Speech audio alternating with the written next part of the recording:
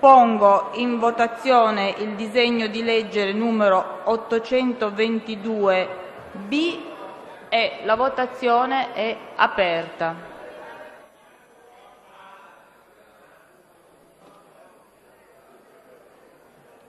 Dato tutti presenti, La votazione è chiusa. **Il Senato approva.**